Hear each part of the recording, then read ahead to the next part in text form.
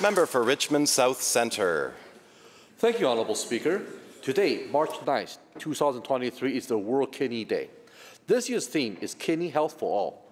Chronic kidney disease is considered one of the non-communicable chronic diseases, which are known to be the leading cause of death and disabilities worldwide.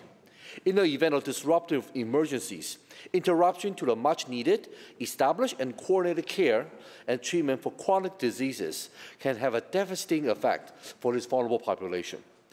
When the healthcare system further experiences challenges, it can further exponentially com compound stress and delay for, of treatment for individuals. British Columbians are experiencing multiple emergencies, which is strain on our healthcare system to, add, to address the challenges of COVID-19 and the toxic drug crisis. Extreme weather events are also adding additional layers of difficulties for individuals who, are, who need regular treatment and care for non-communicable disease, diseases. While the world is actively engaged on the four major non-communicable diseases, ca uh, cardiovascular, cancer, diabetes, and respiratory. It is estimated 55% of the global non-communicable diseases burden is attributed to diseases outside of this group, such as kidney disease.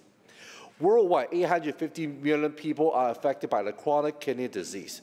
As we prepare people and communities for further challenges, our work must also include supporting people with non-communicable diseases, such as kidney disease.